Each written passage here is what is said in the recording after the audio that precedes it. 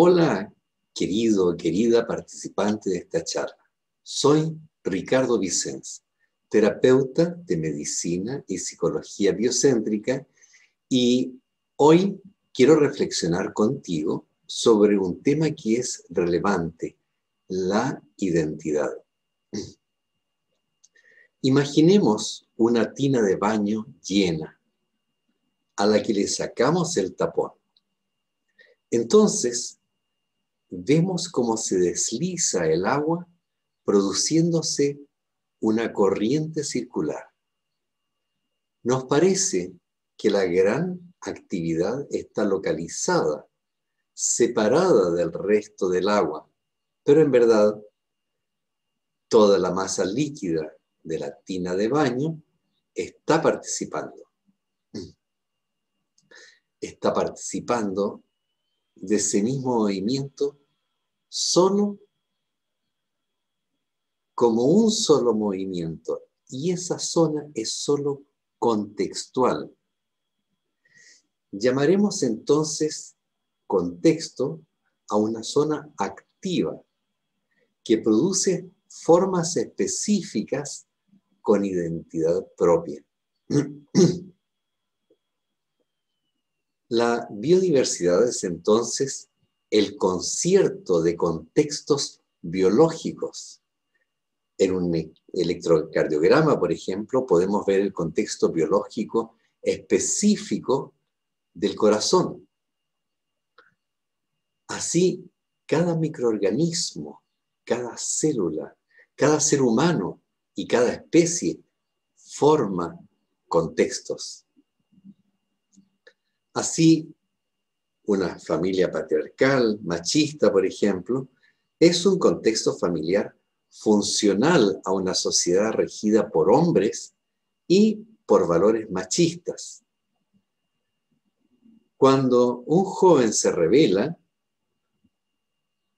lo hace relacionándose con grupos sociales, por ejemplo, de un grupo de amigos, con valores opuestos a los de su familia, adquiriendo conductas funcionales a este nuevo contexto cultural y social. O, por ejemplo, la interacción cultural que produce el turismo puede producir una evolución hacia la apertura de una sociedad cerrada. Un militar con fuertes principios patrióticos no es que tenga la cualidad de rígido, sino que obtiene beneficios de retroalimentación en un contexto funcional a sus principios, en cuya relación se establece un equilibrio patológico con el medio, por ejemplo, de absoluta subordinación dictatorial y represiva con sus jefes y subordinados. Y a nivel familiar, por ejemplo, con autoritarismo patriarcal.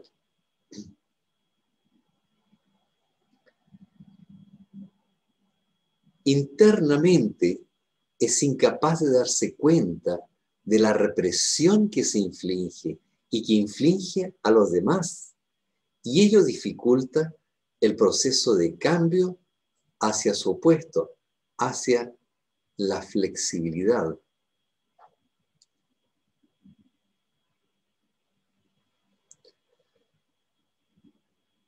Su potencial es la flexibilidad, pero sufre en el desarrollo de su potencial. Para dar un ejemplo de flexible, ahora en este caso el opuesto, un flexible evolucionando hacia la estructura. Una persona que nunca recibió educación con límites y por tanto con pocas frustraciones, como en el caso de un niño mimado, una de las posibilidades es que desarrolle eh, su vida llena de excesos compensatorios que compensan las frustraciones debido a la incapacidad de exponerse a las frustraciones y acuda, por ejemplo, a drogas.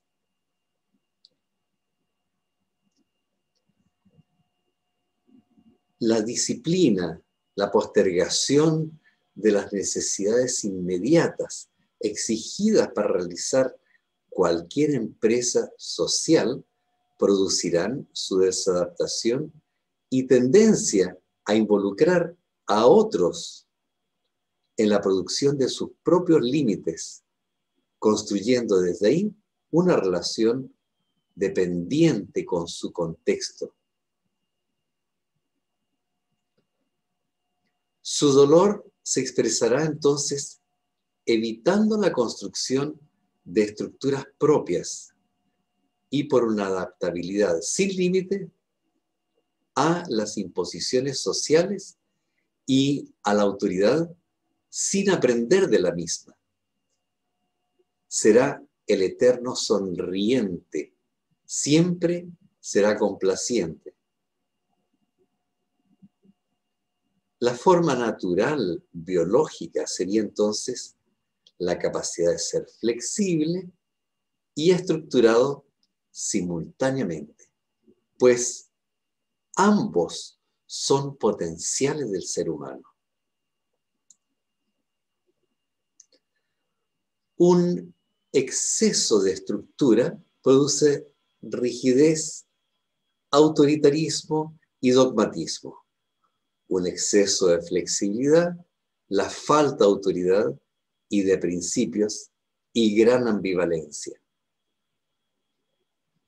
Y entonces, hablando de identidad, se trata de la forma específica de expresarse la vida evolucionando.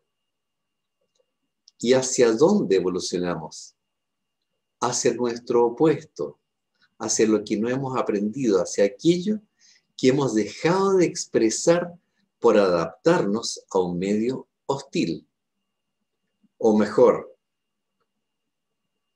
es quien tiene un potencial flexible y sufre el desarrollo de su potencial.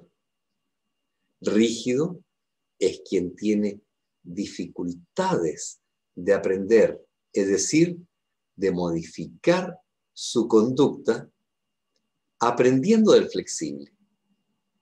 Y flexible es quien tiene dificultades para aprender del rígido. Contexto no es solamente el ambiente estable o no alrededor del ser. Contexto tiene que ver con la identidad misma del ser, en tanto que no es posible definirla si no es por su relación con otros yo existo a través de mis relaciones. O mi conducta no puede definirse aisladamente de otros seres humanos si no se manifiesta en estas relaciones.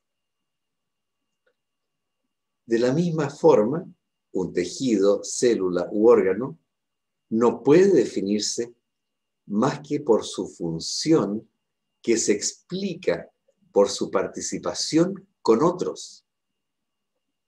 Así, la actividad de la boca no se explica si no es por la producción de bolo que entrega al estómago, etc. De la misma manera, no es posible separar la identidad del contexto con el cual se vincula.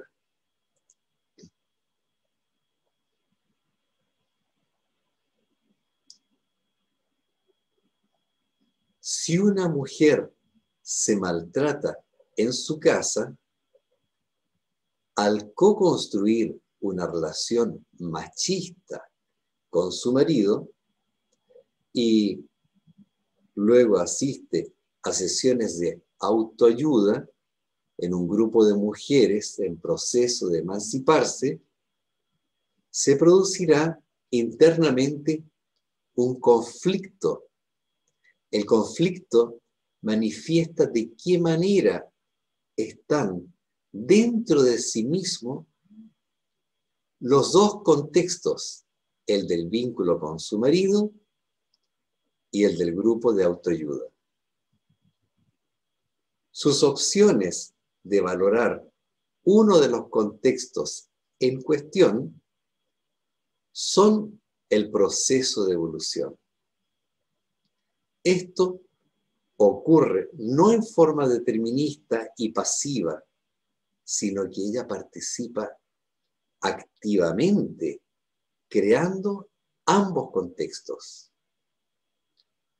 Y su identidad se reforzará en la medida en que toma decisiones, la de hacer lo que quiere y no lo que debe. Se trata de un conflicto de contextos internalizados en el individuo, de tal forma que relaciones con contextos irreconciliables producen una organización o estructura de la percepción disociada que produce sufrimiento. Es decir, a esta mujer el contexto internalizado de sus vínculos patriarcales opuestos a los vínculos construidos en el grupo de autoayuda da lugar al sufrimiento justamente por la incapacidad de decidir. Insisto que es a la vez un conflicto entre lo que cree que debe y lo que quiere realmente.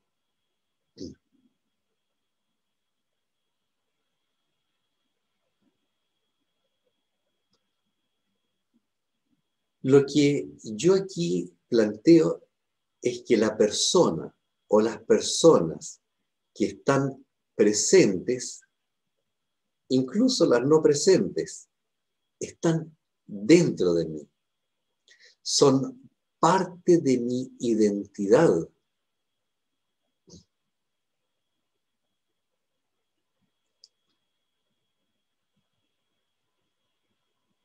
Mientras establezco una conversación, estoy al mismo tiempo construyendo internamente una imagen de mi interlocutor con la que yo me relaciono.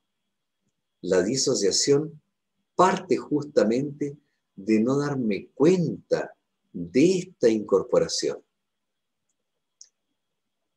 Justamente esa mujer abusada seguirá siendo abusada mientras siga percibiendo a su marido como fuera de sí y víctima de ese hombre.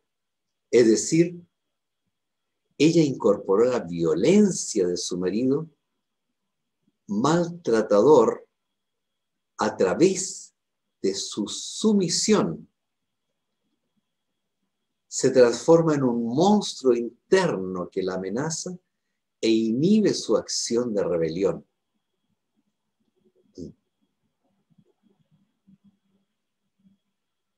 Mi yo entonces son todos los seres con los que me relaciono, pues todos los seres van dejando una huella en mí mismo.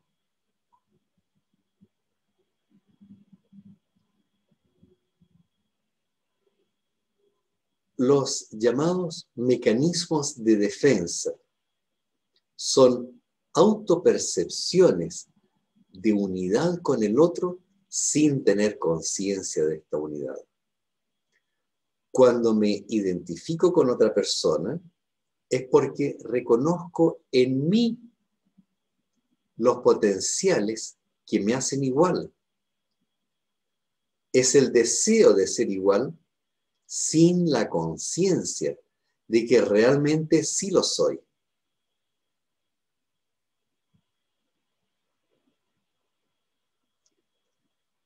La represión son intentos de anular la unidad que percibo con el otro, pero que por identificación con determinados roles sociales no tolero dentro de mí. Por ello, la represión es siempre conmigo mismo y con los demás, con aquellos que se parecen a lo que quiero reprimir dentro de mí. La discriminación es una forma de represión, es la incapacidad de sentirme, por ejemplo, en unidad con el negro, con la mujer, con el anciano, etc. Con aquel que muestra mi potencial reprimido.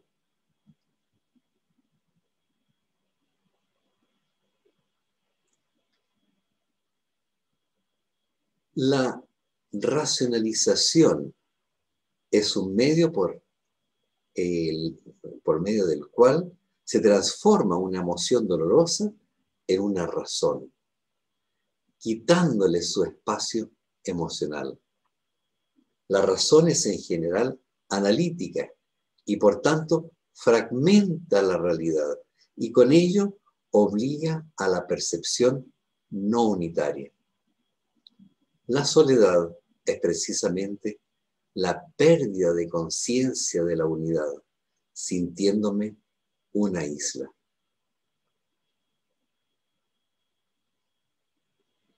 El miedo a la muerte parte de la desvalorización de la naturaleza, perdiendo la capacidad de sentir la unidad con la tierra y el cosmos sin percibir que mi, que mi saber es una chispa de la sabiduría universal, que mi identidad es parte de la creación de la naturaleza a la que pertenezco, vivo o muerto.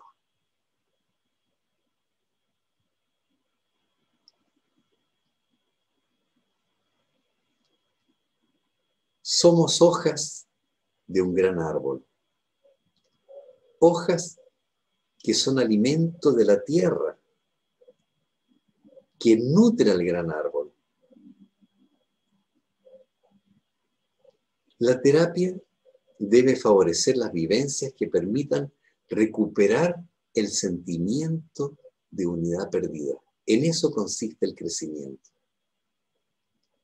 Importante deducir aquí es que la identidad es un proceso por medio del cual me responsabilizo de mi ser. Mi ser se expresa en una forma de ser y de hacer. Por tanto, la identidad está directamente relacionada con mi capacidad de autoaceptación. Incluso responsabilizarme, no de castigarme en forma culposa de lo que no me gusta de mí y que se encuentra, por tanto, en evolución.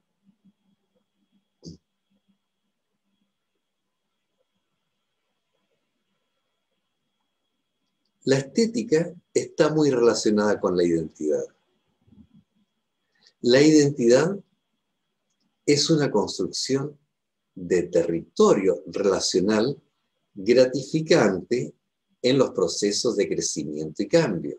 Esto es, el conjunto de relaciones donde la persona se siente reconocida, vista y aceptada.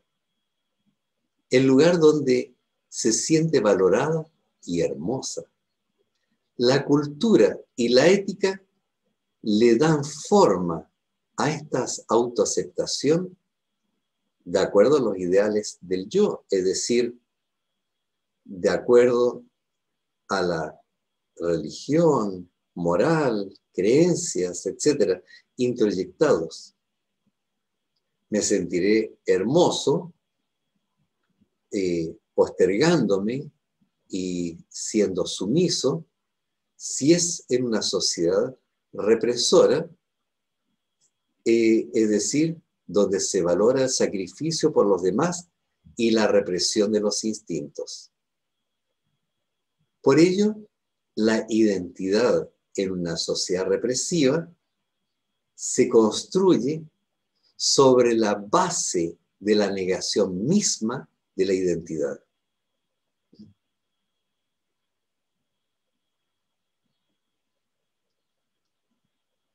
La idea de la identidad, la identidad misma se construye, por tanto, sobre la capacidad de tener preferencias en la medida en que me siento preferido por los demás, y esto es esencialmente una valoración estética, si me siento autovalorado. Y también cuando yo me siento eh, bello. Decíamos anteriormente que consideramos especialmente hermosa la relación o a nuestros padres y, eh, y a todos los seres que queremos. Y eso hace que prefiramos a estos seres. La capacidad de tener preferencias es así un signo de identidad sana. Y la disociación en la identidad se manifestará en ambivalencias internas. Esta ambivalencia tiene su traducción corporal en disociaciones del movimiento o en movimiento no sinérgico y no integrado. Empezamos prefiriendo a la madre como lo existencial y por tanto estéticamente lo más relevante. El crecimiento hacia la independencia consiste justamente en la diversificación de mis preferencias. Las personas que no tienen buen desarrollo de su identidad dicen que les da lo mismo. Entonces, a la hora de elegir o de tener preferencias por una pareja, eligen cualquiera. Se aferran a un clavo ardiendo. Esta identidad no desarrollada es una base para la explicación de numerosas patologías, sobre todo las conductas adictivas y las compulsivas. Dice Carlos García Varela en su libro El arte de danzar la vida.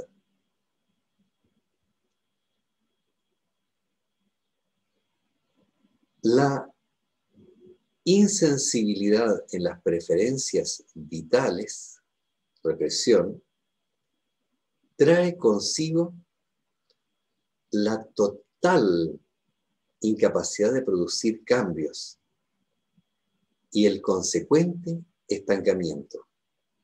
La persona a la que todo le da lo mismo o no sabe lo que quiere, no es capaz ni siquiera de pensar en cambiar algo.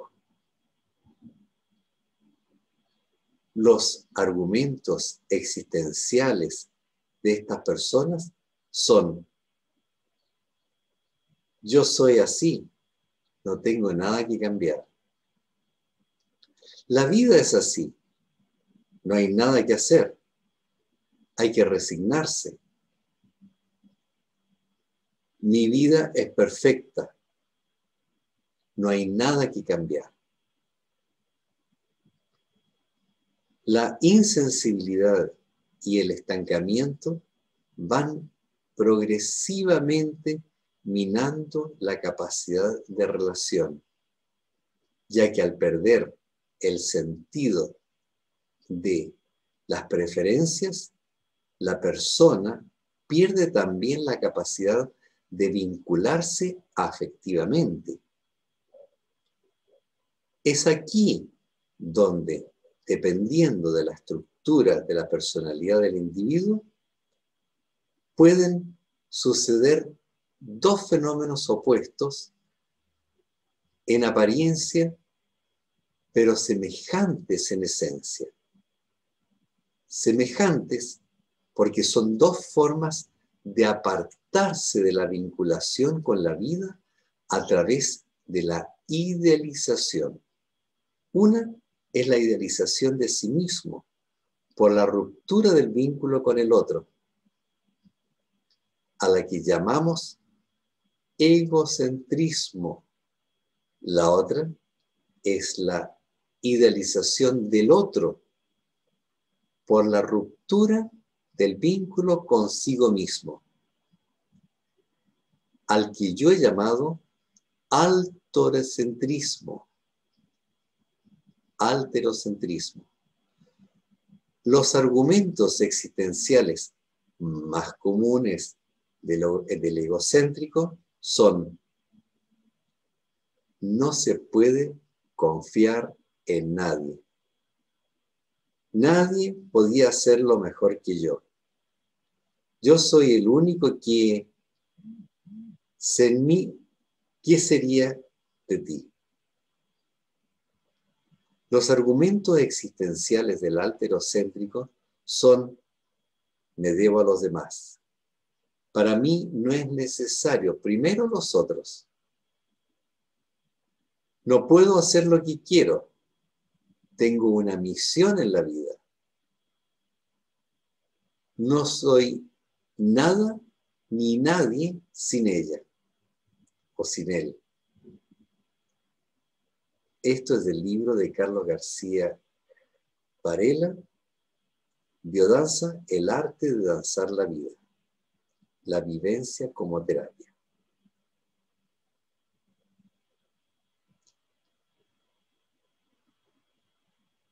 Si las opciones del placer han sido reprimidas, una posibilidad es orientarlas a lo que no produzca angustia y donde haya una menor necesidad de esfuerzo para la gratificación. Es el caso de la obesidad. La obesidad es una carencia de identidad, donde las opciones han sido reprimidas y aparece compensatoriamente en forma obsesiva eh, la compulsión por la gratificación a través de la comida.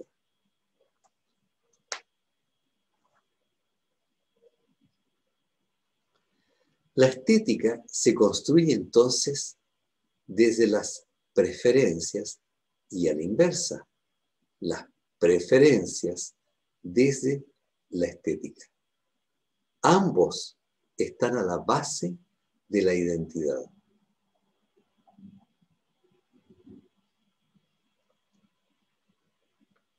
La identidad aparece como resultado de compartirse con otros y ocupar un lugar en la colectividad humana. Si me siento bello, he aceptado mi identidad y por tanto la identidad está directamente relacionada con la autoestima. De la misma forma que las abejas polinizan las flores recolectando néctar que les es útil, también lo es para las plantas para que puedan reproducirse.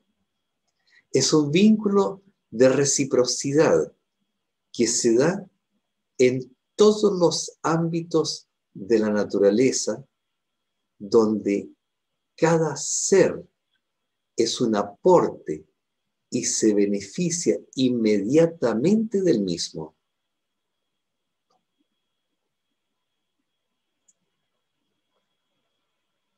La identidad es la forma en que yo, como ser único e irrepetible, en colaboración con otros miembros de la especie, me beneficio y aporto a la naturaleza.